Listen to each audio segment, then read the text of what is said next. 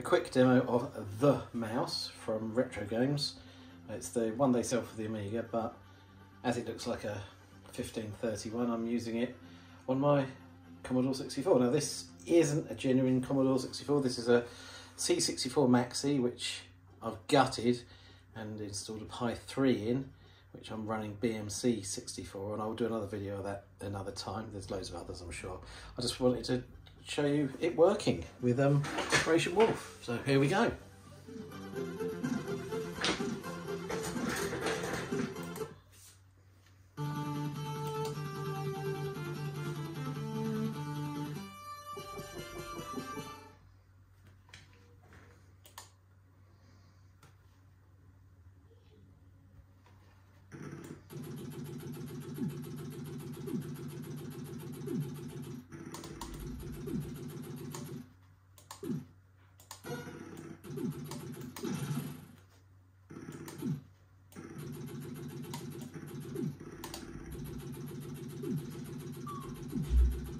Now it doesn't move as quickly as I had hoped.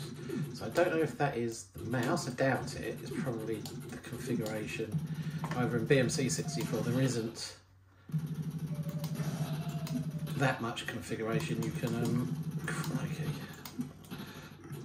do on the mouse. You can basically enable the mouse, a USB mouse, it can be any USB mouse. It doesn't have to be this, this the mouse or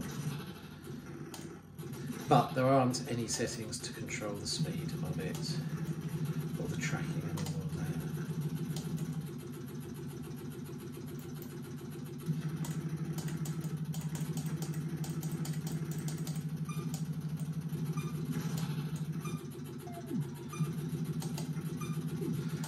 Game over soon.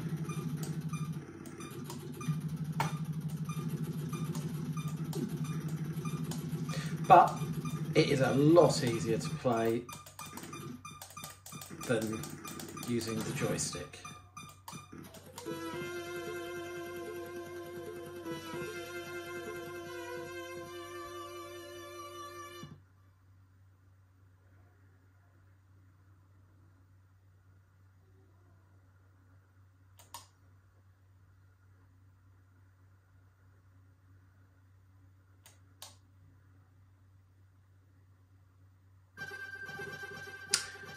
There we go.